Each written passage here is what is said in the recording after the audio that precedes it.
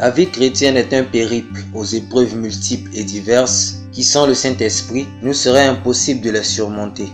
Gloire soit rendue à notre Seigneur Jésus, il ne nous a pas laissés orphelins dans ce monde sans lumière. Jean chapitre 14, verset 18. Les diverses épreuves auxquelles nous sommes exposés ont pour but de nous forger afin que nous soyons utiles à son œuvre ici-bas, au thème de laquelle il nous recevra dans sa gloire. Jacques chapitre 1, verset 2 à 4. Cependant, ces épreuves sont de véritables obstacles qui nous barrent la route du paradis et dont le seul moyen de les surmonter est d'avoir une foi infaillible dans la parole de notre Seigneur Jésus. C'est pourquoi il dira, Entrez par la porte étroite, car large est la porte. Spacieux est le chemin qui mène à la perdition, et il y en a beaucoup qui entrent par là. Mais étroite est la porte, resserrez le chemin qui mène à la vie, et il y en a peu qui les trouvent. Matthieu chapitre 7, les versets 13 à 14. Voyons pourquoi il y en a peu qui parviennent à la vie éternelle. Nous ne lirons pas la parabole du semeur de Matthieu chapitre 13, les versets 3 à 8, mais nous irons directement à l'explication que nous en donne Jésus.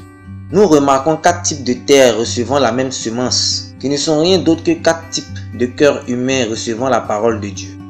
1. Lorsqu'un homme écoute la parole du royaume et ne la comprend pas, le malin vient et enlève ce qui a été semé dans son cœur. Cet homme est celui qui a reçu la semence le long du chemin. Matthieu chapitre 13 verset 19. Le premier obstacle à renverser est tout d'abord l'incrédulité. Plus nous sommes de nature à raisonner et à rechercher une explication rationnelle à toute chose, plus nous serons aptes à l'incrédulité. Il faut savoir que Dieu se réserve le droit d'expliquer ou non ses actes. Il est évident que nous serions incapables de le comprendre si jamais il nous donnait les détails concernant ses choix. Lorsque nous nous mettons à douter des paroles du Seigneur, sans nous en apercevoir, nous donnons la permission à Satan de venir l'arracher de notre cœur. Ainsi elle meurt et ne produit rien. 2. Celui qui a reçu la semence dans les endroits pierreux, c'est celui qui entend la parole et la reçoit aussitôt avec joie, mais il n'a pas de racine en lui-même. Il manque de persistance. Et dès que survient une tribulation ou une persécution à cause de la parole, il y trouve une occasion de chute. Matthieu chapitre 13, les versets 20 à 21. Le second obstacle est celui de la peur de la souffrance, du rejet, des outrages, des maltraitances, de la mort. Dès lors qu'une difficulté se présente, cette catégorie de personnes abandonne le Seigneur. Ces personnes sont caractérisées par la lâcheté. Ils n'ont pas fait un bon calcul de la dépense avant de commencer à bâtir. Oui, il faut du courage et de la persévérance pour marcher sur la route de la crucifixion. 3. Celui qui a reçu la semence parmi les épines, c'est celui qui entend la parole, mais en qui les soucis du siècle et la séduction des richesses étouffent cette parole et la rendent infructueuse. Matthieu chapitre 13 verset 22.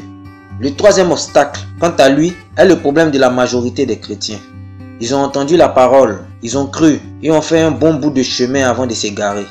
Plusieurs sont harassés par leurs conditions de vie difficiles. Ils ont cru dès le départ qu'ils auraient un meilleur quotidien en venant à Jésus et comme la base de leurs espoirs était faussée, il leur arrive de manquer de force pour continuer. D'autres, quant à eux, n'ont jamais abandonné leurs intérêts personnels et leur soif de posséder les richesses de ce monde finit par prendre le dessus sur les intérêts de Jésus qu'ils s'efforçaient à défendre jusque-là. Une troisième partie de cette même catégorie, quant à elle, n'a jamais cessé de nourrir le vieil homme il s'en vient que la lutte contre les convoitises charnelles devient de plus en plus pressante, au point qu'ils s'y abandonnent. Le problème de cette catégorie est que les pensées de leur cœur n'étaient pas sincères dès le départ. Ils avaient en vue leurs propres intérêts et non ceux de Jésus. 4. Celui qui a reçu la semence dans la bonne terre, c'est celui qui entend la parole et la comprend. Il porte du fruit et un grain en donne 100, un autre 60, un autre 30. Matthieu chapitre 13, verset 23. La bonne terre, quant à elle, n'est rien d'autre que le cœur bon qui dès le départ a compris que Jésus est sa vie et qui ne peut rien sans lui. Il a alors décidé d'abandonner toutes choses sans exception et de s'abaisser jusqu'à terre pour que le nom de Jésus soit glorifié. Il n'a d'autres intérêts que ceux de Jésus. Il ne vit que pour lui. Ainsi, il porte beaucoup de fruits.